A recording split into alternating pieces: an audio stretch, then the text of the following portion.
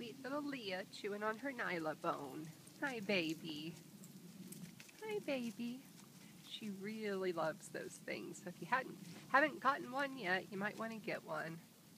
I don't know what they find so darn appealing about them, but every foster dog I've had through here, and including my own, just really like to chew on them.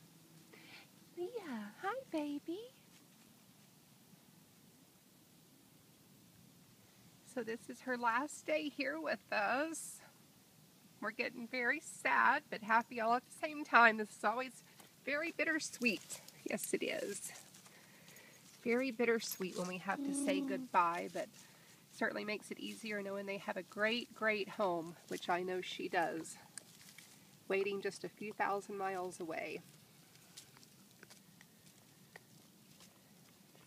So I'll be taking her over um, to the rescue at about 8 o'clock in the morning, and she'll have her final health checkup with the vet. They'll take her temp and check her out, and she hasn't been having any issues at all. So um, they'll issue her health certificate, which is required to transport a rescue dog between state lines. And then I think they're planning on hitting the road about 10 a.m.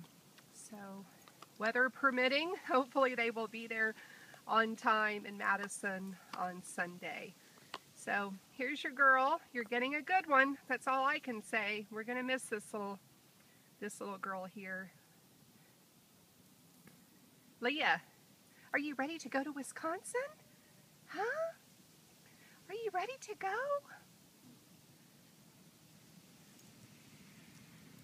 Hmm.